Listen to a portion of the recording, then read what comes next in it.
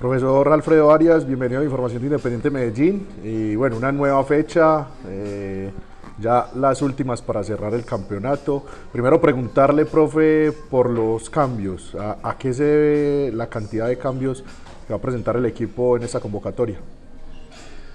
Bueno, eh, antes que nada, aclarar que no es por, ni por descansar ni por rotar el equipo, hubiésemos preferido repetir la alineación de los últimos partidos, pero fue imposible entre algunas lesiones, como la de Alvarado, la de Chaverra.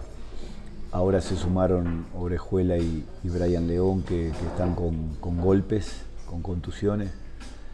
Eh, y bueno, y después están las, cargas musculares de algunos de, los titulares también que han en estos, pocos días han jugado, en, 14 días han jugado 5 partidos. Eh, y se vienen otro tanto, ¿verdad? Porque estamos en la competencia internacional también. Entonces no, yo hubiese preferido repetir el equipo, pero bueno, lo bueno es que tenemos jugadores jóvenes que, hoy, que hoy van a salir a la cancha y van a, dar todo por, el triunfo.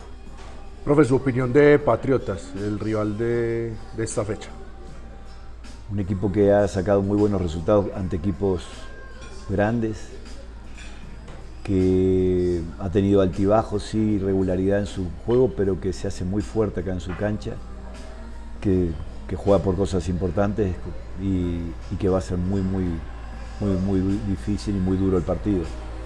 Nosotros vamos a ir por los tres puntos, igual que ellos, y ojalá que salga un buen partido. Profe, eh, competencia internacional en el medio de la definición del campeonato, eh, ¿cómo planifica estos juegos? Ya usted nos contó que le gustaría tener la mayor cantidad de, jugadores posibles y repetir la nómina, eh, pero ¿planifica pensando en las dos competiciones o cómo, cómo se trabaja?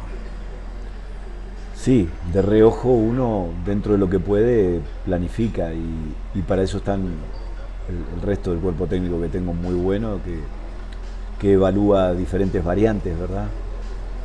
Querríamos llegar muy fuertes y muy bien a, la competencia internacional, pero lo primero es lo primero. Nosotros primero tenemos este partido en Patriotas, el domingo que ya jugamos el clásico y después viene el miércoles el partido con Defensa y Justicia.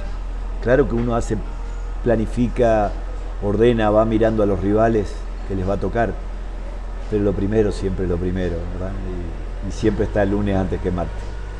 Profe, ¿y el deseo sigue siendo las dos competiciones? Eh, ¿Competir de buena manera en las dos o llegará o ya llegó el momento de elegir?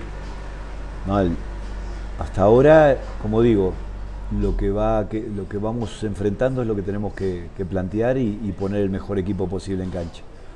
El mejor equipo posible en cancha hoy para enfrentar este partido es el que vamos a poner. No podemos poner a los otros jugadores que están lesionados y tampoco podemos poner a alguno que está muy cargado y que puede llegar a lesionarse también. Después veremos lo, lo que pasa. Bueno, profe, que sea una parte para Independiente Medellín. Muchos éxitos. Muchas gracias a ustedes.